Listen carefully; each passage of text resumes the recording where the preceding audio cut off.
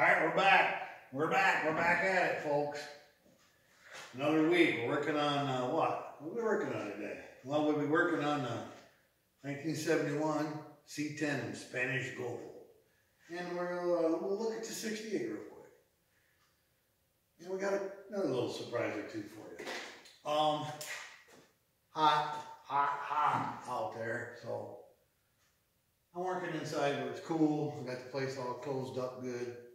I got a lot of welding to do, but I don't want all that smoke in here and I don't want to exhaust all my cool air. So I've just tack welded some things and either I'll get up early or, yeah, because it's too warm in the evening. Uh, it's, it's in the high 80s, but uh, I'll get that welding finished up outdoors. A different day, later. That's it, later. Uh, I almost forgot. Anyhow, let's, uh, where are we gonna start? Let's start on what I've done with the sixty-eight. Last time we talked, let me, let me grab a hold of you there. The last time we talked, we were dealing with this, this stuff. I know you can't see it, this is just for quick reference. The drag links where they connect to the axle and this, uh, panhard bar. That bracket that he bought wasn't for this differential cover. It's too big. So we're redoing the bracket, we're remaking it, redesigning it, however you want to word it. I'll take you over there and show you that real quick. For whatever part of this you can see over here at the welding bench. Let me get my gloves on. My wife will be watching this, and I want my gloves. She'll be watching. You guys are always watching me. I got one, one of my gloves on, the blue gloves. Does that bother you? Doesn't bother me. Okay, not that I'm proud of this yet, because it's just tacked up, folks. I'm getting me, I'm trying to get things figured out. So the old bracket is from here back. They had it coming in to the center. I wanted it farther to the back. I gotta weld this up, clean that all up. We won't talk about cleaning up. But these angles, these triangles, these gussets, whatever you wanna call them, there's so many angles here. It has to be flat in the back and then slightly up in the front. I know you can't see in there. And then this side here, that's not even a 45. And this one here is not a 45. And this has to be canted just a little. It was, I think this is my fourth attempt. Now, if I'm being honest, it's probably my sixth attempt. But so what we've done is extended this original bracket out. And the angle of the panhard bar, if you did it flat, it wouldn't, oh, I word this? You have to rotate evenly. If you have one like this and you try to rotate even in your fingers, you can feel pressure on this side. And if I go this way, you feel pressure on that side. They need to be parallel. Not only do they need to be parallel, but they can't be, what's the other word? Parallel does it this way. Oh, they can't be, I don't know, angled or cantered this way, because then your bolt will be rubbing wrong. So it has to be squared on the ends and parallel this way. Lots of figuring, folks. Lots of figuring in there. Caught that. Then I'll get this. I think this top piece I've designed to heat and I can bend around. So I have at least one of those sides. Oh, this side too. So I have that same shape for strength. And then I'll put in one more little gusset in the back, wrap this around, weld it all up. Yeah. I'll, I'll bring it back to this when I get it done and painted and cleaned all up and welded up properly. I might even do, yeah, I will some little, I don't know if you can see that one, little gussets off the back of these ears. That's not as strong as I'd like. So I'll cut me some pieces, get my angles all proper and welded up. It's going to be tough. If you know me, it's going to be tougher than it needs to be. So the next thing we're doing is working on the 71. I got some fun stuff there. So let me get you back over there real quick. As you know, when I open this hood and you start trying to look inside with all that painted black stuff, you won't see much, I'm sure. But I'm gonna get, I got more lights today, I got some flashlights, well, I don't call them that anymore, but. And then I got this, uh, this is the new fun thing for the shop. This is our green lizard, the green lizard cam. So today, we're getting the green lizard cam out. It's really written on there, lizard cam. I say with green because I can tell it's green. So we're going to take the green lizard cam, and what are we going to do with the green lizard cam? Well, let me pop the hood and show you.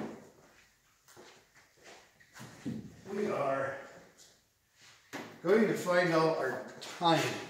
Now this is So if you guys know me, you know I like to do videos on things you can't find on YouTube, or at least I can't find. So uh, when I put on the old motor had a harmonic balancer on it. Now those are built with an inner solid metal and an outer solid metal with a rubber band around them. That's, a, that's the way they're made for the damper. And when I bought my new one, from Summit, I don't mind telling you, it's, it's nice. Yeah, it is. I won't call it junk, not this time. But the timing degrees on the one from Summit was about 20, 25 degrees different than the one to come off the motor. So I spent a bunch more time researching, and checking, and there were different harmonic balancers for different year 350s. And I ordered the right one. Sometimes I don't. And they sent me what they said was the right one. But like I said, the degrees were different. So which one do you trust? The old one that could have gotten, you know, the rubber could have gotten dry and it could have slipped on there. That does happen. Or uh, the one from the company where the guy building it, or gal, had a bad day or hated their job and didn't really care. So I have to decide which is which. And these days, I probably trust the old one better. But don't trust either one. If the engine was out of the truck, you could put a degree wheel on it and figure it out. And I probably should have. I forgot. So now that it's in the truck, how do you do it? I couldn't find anything on YouTube, so I'm going to show you how you do it. And it worked out actually better than I thought from when I started. So you take a spark plug out. I'm going to get you over there because you might actually enjoy this part. You take out your number one spark plug on a Chevy, it's this front right one. You probably knew that. See if I can get you to actually see something. That'd be that'd be all right, wouldn't it? So you take out, you can't see it. No, no. You take out your number one spark plug down in there, and you roll the motor over, which this motor's kind of tight, and I got a lot going on here in the front, which you'll see in a minute. You can't turn this by hand. You can't really grab any of the belts very good, and you can't get it turn anyway, and it's got a clutch fan on it. So I had to climb underneath and move it from the flywheel, climb out, and then climb underneath, and yeah, you get it, like 17 times. But now that I got it close, yeah, we're, we're going to show you the green lizard cam. So you take the green lizard cam, I'm going to show you something about this too. We've got so much to show you.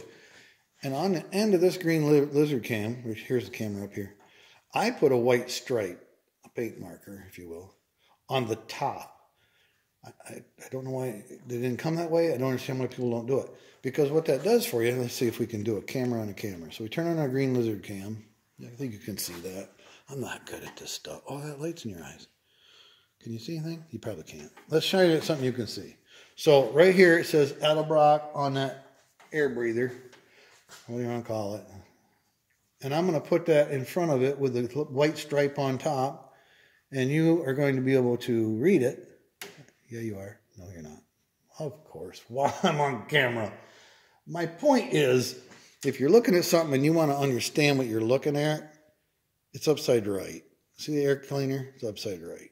Once you stick this in somewhere and it gets all upside down, I mean, I'm still shining it at the air cleaner, but we're having a hard time. Can you see? I can't see. Oh, there it is, air cleaner. But it looks funny because, well, it's sideways. So that line really helps you out having the screen upright. Again, doesn't matter, just something to show you.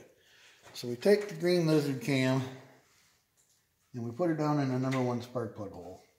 Again, this isn't super important for this because top and bottom doesn't make a lot of difference. Where you, you go, little buddy? Oh, right here.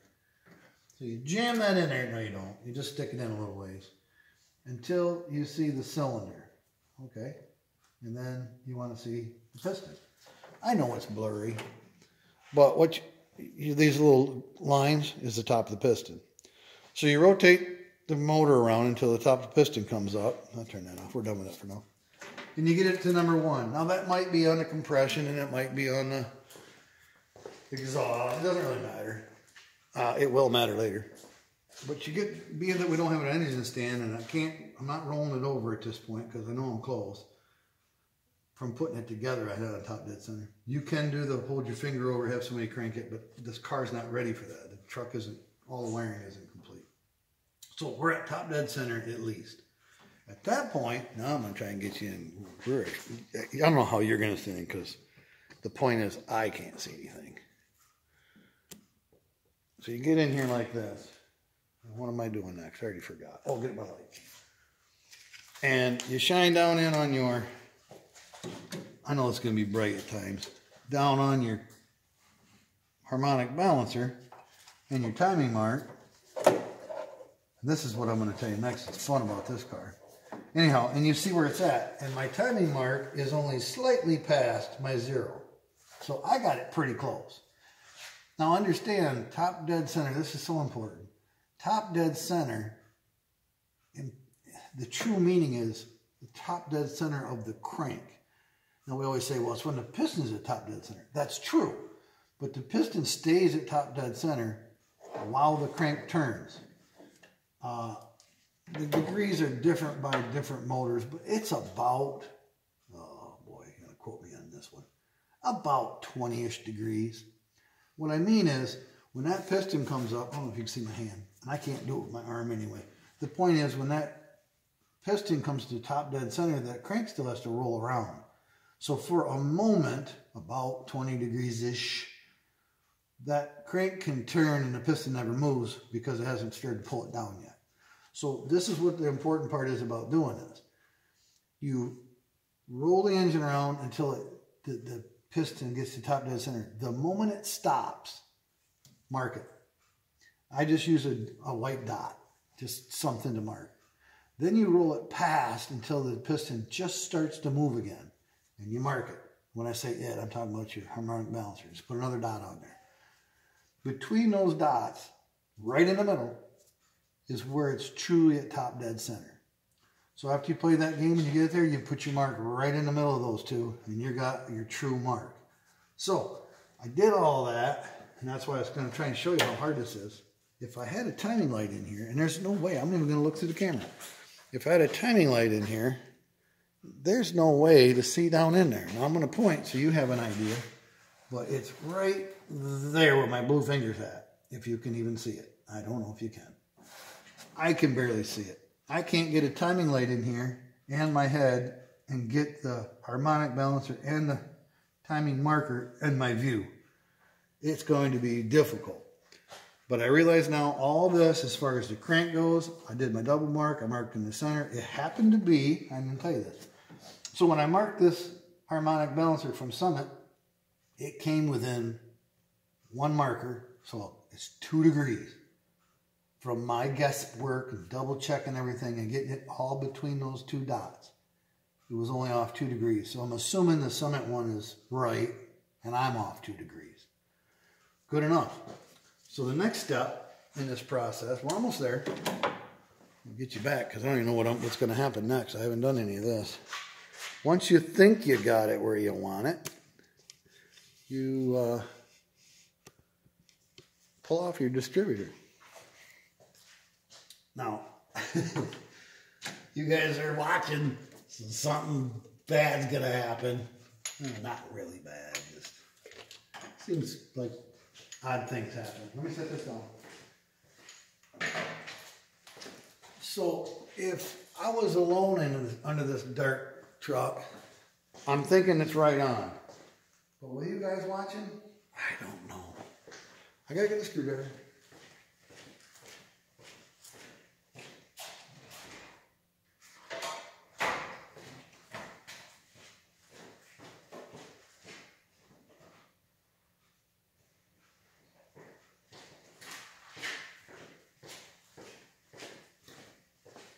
I don't know if it's going to help you guys or not, but to help me. So I got to get the distributor off and double check my timing marks. What did I do? It should be pointing to the number one. Now you might ask, which one is number one? I don't mark it white. I got a black number one on there. Because you know me and my black paint. All right, so I could have had this loose before I got you guys watching. It'll be fine. Course, I got all four latch like I'm going to the races. There's three. I don't think that was hooked right anyway. And then one I can't see at all. All right, here's the big reveal. Big timing reveal. Needs to be pointed right there. Now this this obviously moves. The whole thing I've got just kind of snug. Here we go. Let's see. Can you see? I hope you can see. Before I pull it off, because I want you to see, I want to look and see if you can see. We're going to talk about my English maybe later. You'll be able to see. You can zoom in on your, on your phone. I don't know what you're going to computer, here it goes. Nope, it's not loose. Here it goes. And ah, come on. It's wrong. Of course it's wrong. How can that be? It's not even off 180. It's way off. Well, I got work to do. Darn it. That's okay. I'll get it figured out. I won't take you guys along for the ride. I'll double check all my wires. I'll double check my timing. I'm not going to do that on camera because I got to climb under this 30 times. Double check, check my marks. I don't know how well you can see that. Is that 20 degrees off? That's funny. It's supposed to be up here in the front. Ah, that's more than that. It's more like 30 -ish. All right, well, I'll do that off camera. We got other stuff to do. Darn it, the timing's off.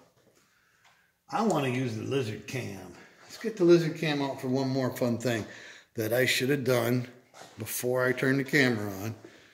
You know, that way I know what's going on before you do. Do you know what we're going to do? Yeah. We're going to do it. Now, this truck was running and driving when I got it. Well, I say running and driving. You could drive it around the yard, I guess. But I want to see what's in here. I haven't drove it now for another two years, so that didn't help. But I'm curious how much work I'm going to do this tank. I'm going to use this tank. And I don't know, I'm not going to take it out and run rocks through it unless I have to. So there's that white line to give me an idea. Not the top and bottom really matters. I don't know if you guys can see that. It's funny that light works, but all right. Is that a good spot for you? Well, as good as it's going to be. see what we got down in the tank. Hmm. So far, dark. Hmm. dip that right down in the bottom. Well, I don't know what I'm looking at, but it didn't look great. What, what's that down in there? Can you see that? Is it just gasoline? I don't know, but I'm not fond of it. Let's, let's see if we got down in the gas. Oh, I got. Go a little farther. That's looking crustier. I'm, I'm going to show you when I get there. Looking crustier than I thought. Well, yeah, they don't really look clean, does it?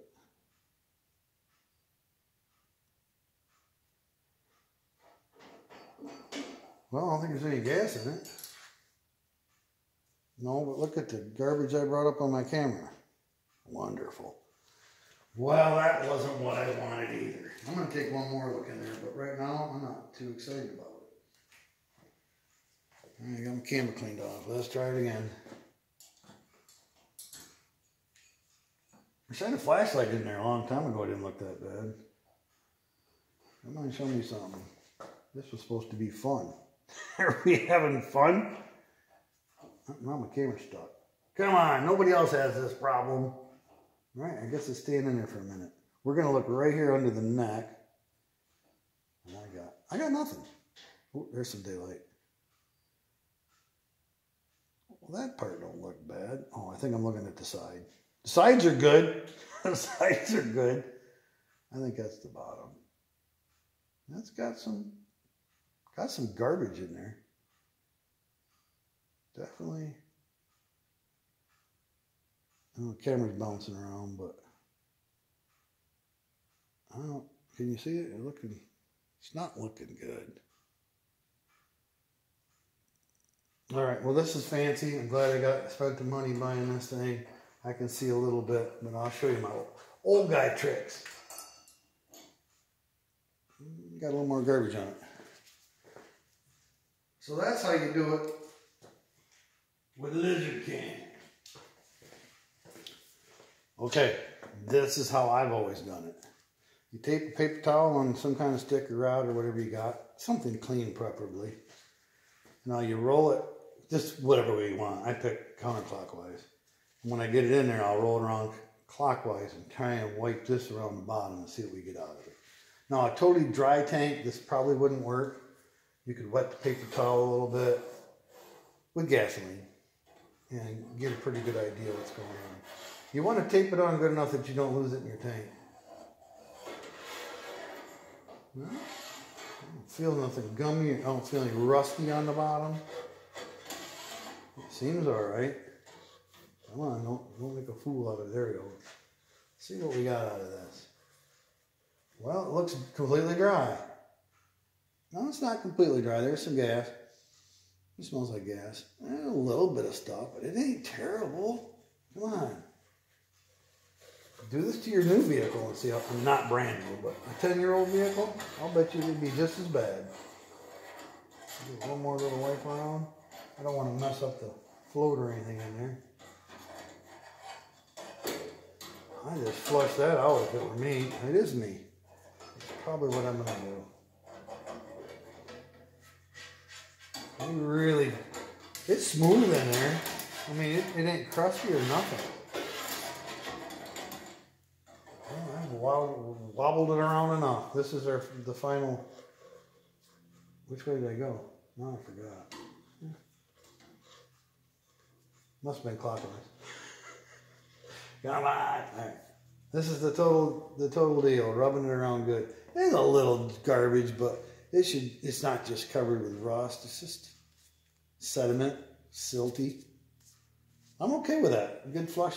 Good flush will get rid of that. So there's your there's your lizard cam. I got more information out of this paper towel on a brake line than anything else. All right, I got more for you. Let me take care of this stuff. Okay, let me take you inside the truck. If you remember and you watched last week's show, you'll know about cup holders. Now, I didn't get a lot of views on cup holders, but hey, it's not about views. It's about helping people out that want to know how to do some things and haven't done it. So you can see my cup holders right there. I'll tell you how that happened, but I got the dash in the truck. Um, it was all, in, actually it was in my 72 and I tested it all out so all the gauges are working good. I finally got the radio completely tightened up, the knobs all on proper and everything. And then cup holders. So I ended up going with the Silverado cup holders and I put them right up tight to the seat so there's no gap. Yeah, I had to do that twice. No, I ain't gonna fit to you. So it goes right to the seat. You don't have any gap here. They're in well. They're sturdy. Not going anywhere. All I had to do is take two angle iron. Well, they were aluminum. So two angle aluminums under each one of these pockets. And there's a small bubble in the bottom of these pockets. So you can put a bolt through it. I don't know if they did it on purpose. But you can put a bolt through it and your cup won't wobble on that bolt because it's crowned anyway. So it's in there, hooked to the seat. So when you slide the seat forward and backwards, it's always with you. My wife drives it if I drive it or whatever. So that's the cup holders. We're getting her together. It's getting closer every day. Good stuff. Good stuff. Seats all in. My one seat belt. I know, I haven't bought the other one yet. The other thing I didn't tell you, maybe you can tell in the shop. It's echoey in the shop. Let's do this real quick. Just take a second. So we get in the truck and I close the door, so bang. Now, listen to my voice in here it almost sounds like I'm in some kind of, I don't know, soundproof booth. It is, that focus. I think it's the headliner that helps. And that felt we put behind the seats, that didn't hurt.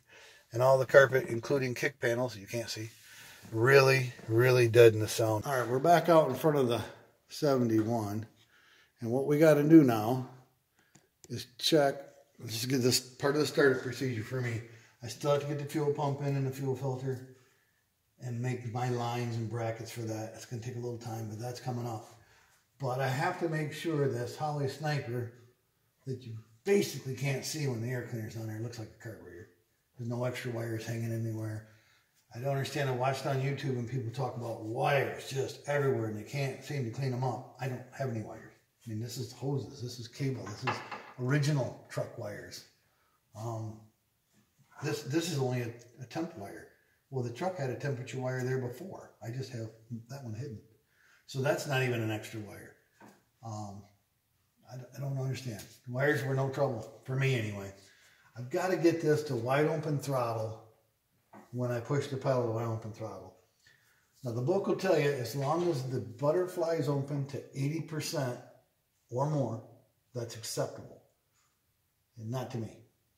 They need to be straight up and down, wide open when the pedal is depressed to the floor. And I don't mean like smash through the carpet as hard as you can. Just when you push it full throttle, these should be completely open. How I do that is I get a stick or a rod or something that's the length of the throttle to the seat, prop it in there, then I come out and look. So we're going to give it a look-see and see how my linkage is. Now I just did all this by feel and you remember that from other videos. If not, you can go back and watch them about breaking that nut off and I, I didn't figure it'd even be close. So I know at least now it's, you know, it's close, but I can't get inside with a pedal and out here, so let me get a stick. I got the throttle down. Let's get in there and see what we got. Might need a flashlight. Can you see in there? Well, it slipped off, but I believe it was completely wide open. Cool. Well, something went really good with that today. I still got to figure out that timing back in there. So that's what I'm working on this week. We'll see you guys again soon. That's it. We're done. Take care. Goodbye. Appreciate you watching. Thank you so much. Can we turn this thing off this week? How many times are we going to try?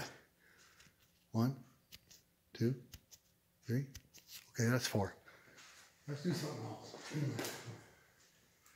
Don't forget, we've got more lizard cam to come.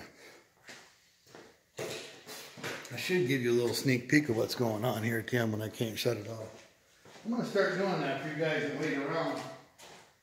Waiting for me to turn this thing on. I don't know where nothing's at. I'll give you a little tidbits at the end from now on. All right, that's next time, next week.